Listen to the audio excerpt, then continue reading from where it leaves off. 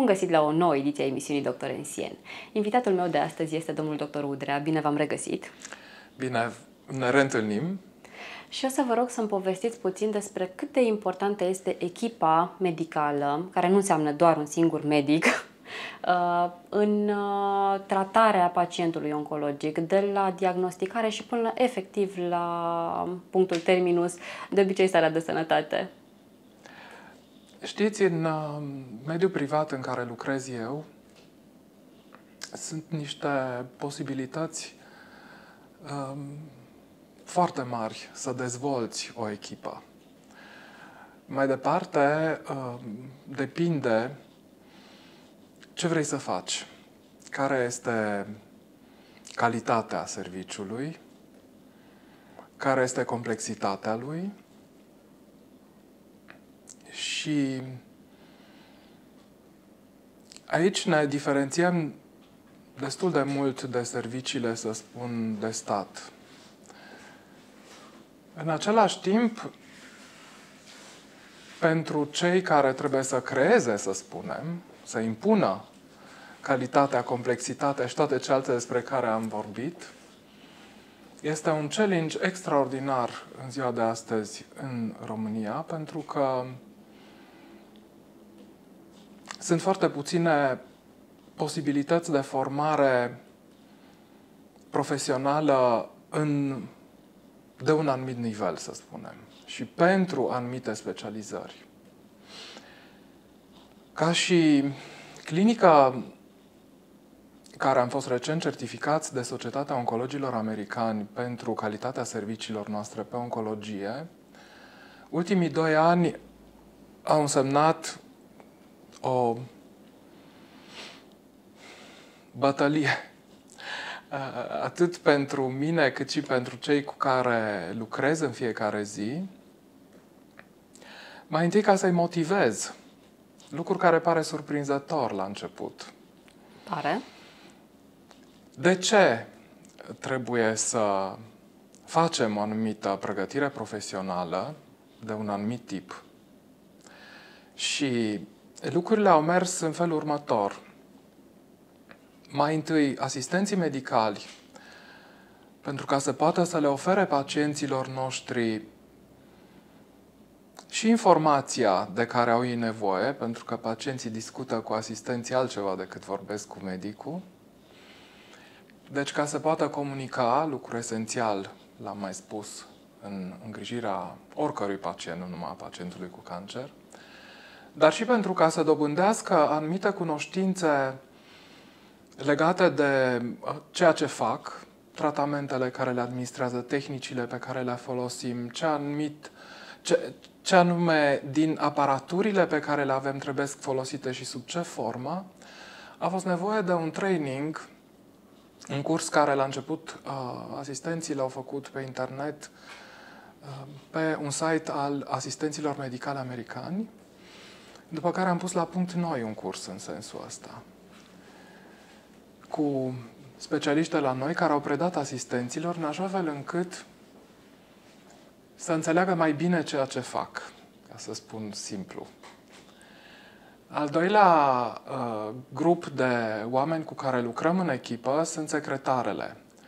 Ori aici deficitul, să spun așa, este și mai mare și și mai greu de contracarat, pentru că școli de secretare medicale, așa cum există în Occident de mulți ani, nu avem. Nu există o școală de secretară medicală adevărată, ori um, pare la prima vedere ceva foarte simplu, când de fapt e extrem de complicat. Să formezi o persoană care să știe să se adreseze unor oameni care au probleme majore ei și familiilor lor, care să aibă cunoștințe medicale de bază, pentru că oamenii prima dată interacționează cu o secretară și cer ei să le răspundă la anumite întrebări, care să știe să facă și operațiuni financiare atunci când e cazul, um, care să știe să suporte și uh, burnout-ul, cum se spune acum, a medicului, care la un moment dat nu mai poate și își varsă nervii pe secretară, este unul din lucrurile cele mai grele posibil. Și a trebuit să trecem și prin asta, să le învățăm, să învățăm pe secretari cum să facă față tuturor acestor probleme zilnice. Și a fost și încă n-am ajuns la medici. Așa. Um, a urmat farmaciștii, care din nou pentru tipul ăsta de specialitate înseamnă un, anumite proceduri extrem de stricte de manipulare, de, de preparare, uh, proceduri de administrare a medicamentelor pe care ei au trebuit să le transmită asistenților și uneori și nouă medicilor, pentru că tot timpul apar lucruri noi și în domeniul ăsta. Deci ce vreau să spun este că am încercat să formăm tot personalul pe care îl avem, în așa fel încât să fim la nivel occidental, prin cunoștințele pe care le au, așa încât pacientul să aibă siguranța că atunci când ni se adresează, în afară de prescrierile, de discuțiile pe care le are cu medicul oncolog, toată cealaltă parte a prestației noastre să fie așa încât să se simtă cât mai sigur că ceea ce face este de calitate. Și asta a fost un uh, proces, cum am spus, care a durat 2 ani, dar noi l-am început de când am deschis clinica noastră. Care a fost cea mai mare provocare? Cea mai mare provocare a fost, uh, cred că am mai spus, să motivez oamenii. Pentru că orice lucru nou se știe,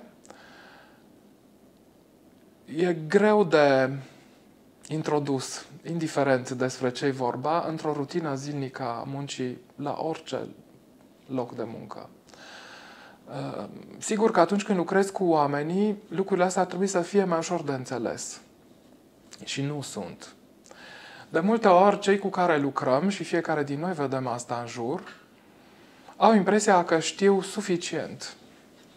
De fapt, niciunul dintre noi nu știm suficient niciodată și tot timpul trebuie să ne îmbunătățim cunoștințele, să vedem ce este nou, pentru că avem de-a face cu o societate tot mai complexă, cu oameni poate tot mai pretențioși, uneori fără să-și dea seama, sau poate că uneori, uh, când spun lucrul ăsta fără să-și dea seama, mă gândesc la faptul că sunt uneori exagerate anumite lucruri pe care oamenii le cer de la un serviciu medical, exagerate în raport cu societatea în care trăim. Pe lângă pregătirea lor de bază, medicii dumneavoastră sunt uh, trăinuiți și școliți în permanență și sunt tot timpul la curent cu tot ce apare nou în domeniu. Uh, la urma urmei, beneficiarii uh, sunt pacienții. Pacienții sunt conștienți de lucrul acesta? În mare parte, cred că nu. De asta am și ales să vorbesc astăzi despre asta, pentru că uh, majoritatea celor care ni se adresează probabil că văd o naturalețe în gesturile noastre, așa încât presupun că de undeva vine ceva pentru care noi, de fapt, în fiecare zi trebuie să ne luptăm și în fiecare minut.